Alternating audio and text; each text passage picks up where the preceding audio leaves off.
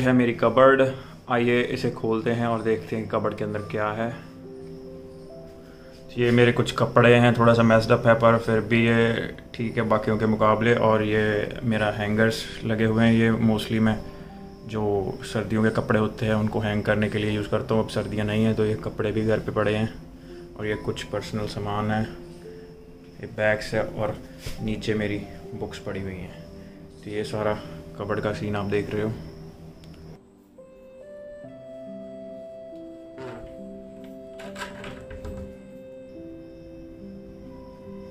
Next आ जाता है कि ये वाइट बोर्ड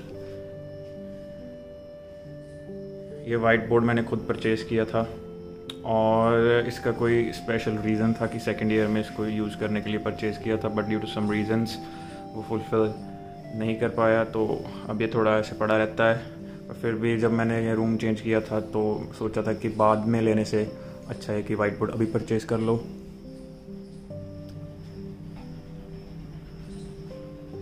और इसके साथ में लगा हुआ ये बेड ये सिंगल बेड्स हमें कॉलेज की तरफ़ से दिए जाते हैं। बेड के बाद आ जाते हैं एसी पे। ये मेरा हिताची का एसी पहले इसकी भी एक लंबी स्टोरी है कि पहले मैंने वन टन का ले लिया था और फिर उसके बाद ये डेढ़ टन का एसी लिया मैंने।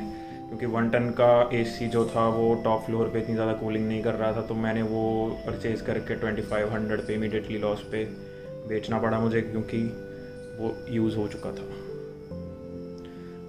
अब नीचे आप देख रहे होगे कि ये छोटा सा एक स्टडी टेबल है जो बेड पे रखने के काम आता है, या फिर अगर आपने फ्लोर पे बैठ के पढ़ना है तो उसके काम ये आता है। कस्टमाइज है, ये मैंने खुद बनवाया हुआ है, एक स्टडी टेबल है।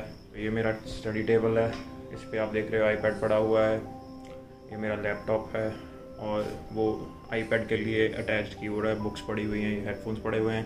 तो ये भी मैं कॉलेज की तरफ़ से ही प्रोवाइड किया जाता है और बता दूँ कि जो एसी है एसी के हमें एडिशनल ट्वेंटी थाउज़ेंड रुपीज़ पे करने पड़ते हैं as electricity bill for one year time period और ये कुछ दूसरा टेबल है, इस पर खाने का सामान पड़ा हुआ है।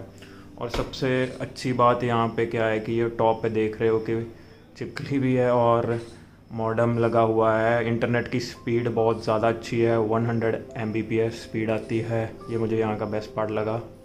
ये भी खुद का ही इंटरनेट है, ये कॉलेज की तरफ़ से। फैसिलिटी नहीं प्रोवाइड की जाती ये जो दो होल्डर्स हैं, जो रैक्स टाइप बना रखे हैं, ये मोबाइल होल्डर और आईपैड होल्डर, ये भी मैं खुद घर से बनवा कर लेकर आया था आईपैड और मोबाइल रखने के लिए।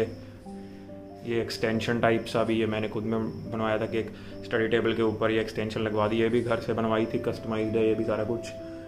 ईजी रहता है, आप डिफरेंट डिफरेंट अडेप्टर्स इस पर लगा सकते हो, क्योंकि कॉलेज की तरफ़ से इतना आपको ये एक बोर्ड दिया जाता है तो उसमें इतना कनेक्शंस नहीं डाल सकते। बट ये मैंने कस्टमर कस्टमाइज कर लिया था और ये तार वहाँ से उसका कनेक्शन ले लिए थे जो कॉलेज ने प्रोवाइड किया था। अब आइए आपको बालकनी व्यू दिखाता हूँ कि बाहर से बालकनी कैसी लगती है। ये देख सकते हो कि ये मेरी पीछे से बालकनी है और बालकनी में बहुत ही ज़्यादा अच्छा व्यू है। ये शेयर्ड बालकनी नहीं है, ये पर्सनल बालकनी है। और इस पर मैंने एक ग्रीन कलर का नेट लगवा रखा है, क्योंकि यहाँ पे पिजन्स आते हैं। उसके लिए ताकि वो ना तंग करें। और आप देख सकते हो कि बहुत ही ज़्यादा अच्छा व्यू है। ये शाम को और भी अच्छा हो जाता है। This is